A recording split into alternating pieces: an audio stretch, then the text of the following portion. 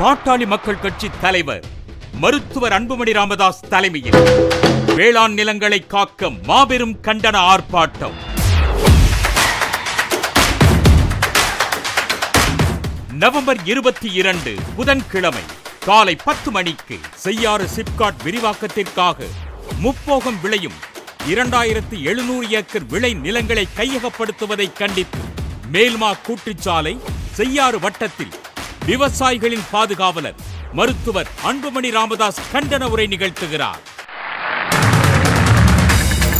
பாட்டாளி தோழர்களே விவசாய பூமியை பாதுகாக்க அணி திரள்வோம் மக்கள் தலைவனோடு கைகோர்த்து வேளாண் நிலங்களை காப்போம்.